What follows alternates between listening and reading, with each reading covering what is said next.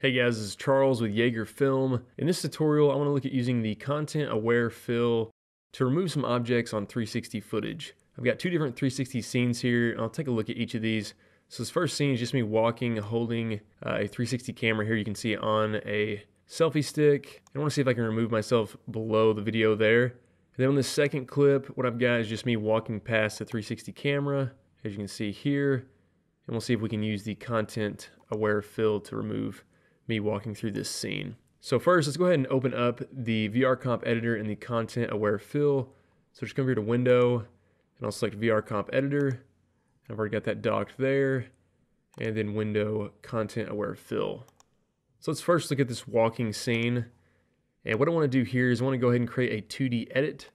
So I'll just select Add a 2D edit. And I want to select that walking composition, and go ahead and select Add 2D Edit. So now we can see we're looking at the 360 footage kind of in a first person view. And I'm just going to navigate with the camera tool to look down here on the area that I want to remove, try to center that up. So basically me and my shadow here.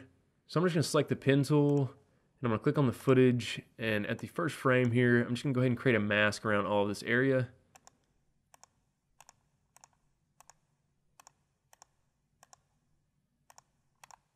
And I'll hit M on the keyboard to bring up the mask settings. I'm to set this to none. And I just want to make sure this covers up me walking throughout the shots. I'm just going to scroll through here and make sure that looks like it's over everything. Pretty close. Maybe need to move this over just a little bit there. All right, I think that looks pretty good. So I'm just to go ahead and set that mask now to subtract. Now, if we look over here to the content aware fill, we can see that area is showing up. Now, I actually like to add a little bit of feathering around this as well. So I'm just going to come down here to the mask, hit MM, bring up the mask properties. I'm going to add a subtle feather onto this. Again, scrolling through to make sure I don't show up anywhere around the edges, so it looks pretty good. All right, now that we've got that set up, I'm going to go ahead and generate a fill layer to fill in that gap. And we'll go ahead and speed this up to when this finishes, and we'll take a look at the results.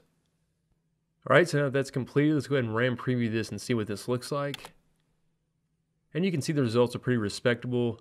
Definitely not perfect, but for the amount of time we spent on this, these results are pretty nice. Now, one thing I did notice that I want to demonstrate for you here is that you might want to edit your footage to have an extra second at the beginning and the end whenever you use content aware fill, because you're going to see at the very beginning here, we get kind of this weird artifact, and that's because it's kind of sampling the footage, doesn't have enough information to kind of create that perfect. And you can see right about here is when it really kind of kicks into gear and looks pretty good. Now we have a little bit of darkening here along these edges, and that's not really at fault of the content aware fill. That's more just vignetting from the stitching.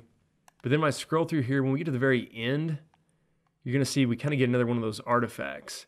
And that's again because it's sampling the footage, doesn't have enough information at the beginning and the end. So if you add kind of a second at the beginning and a second at the end more than you need, you can just kind of take out this centermost sections of your footage and kind of avoid the beginning and end areas. That way you don't have those artifacts that show up. But you can see this looks pretty good and it definitely is more immersive than having like a big logo covering up the bottom of your 360 video. All right, so I'm gonna adjust the spacing here the VR Comp Editor. And if you wanna go ahead and open this back up in an equirectangular view, all you need to do is open up the output render. All right, so now we can see a preview of the output and you can see I have been removed from the bottom of the video. And this is the composition that you want to go ahead and render out uh, when you finish up with your removal. All right, so now let's go ahead and look at this second shot here and see if we can remove myself from walking past the camera here.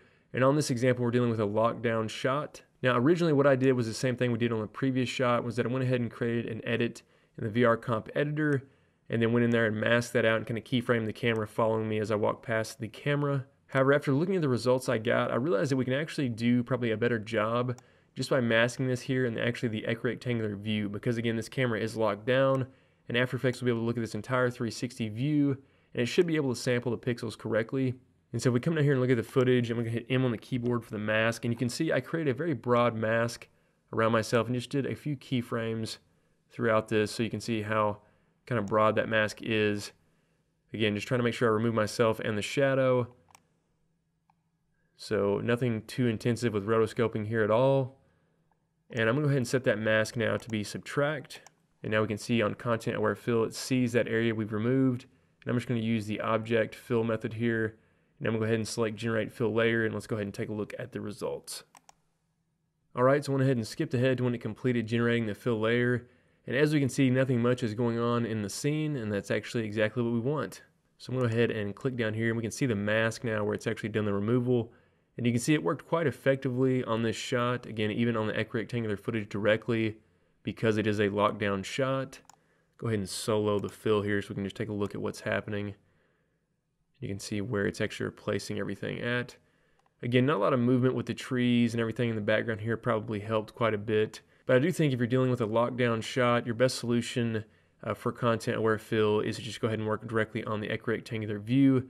Now, if this camera was moving, walking down the street, and I'm trying to remove somebody else walking through, I would recommend using the VR comp editor to create a 2D edit and do the removal just like we did the walking uh, shot before. All right, guys, hopefully you enjoyed this tutorial taking a look at the content aware fill with the VR comp editor built into After Effects.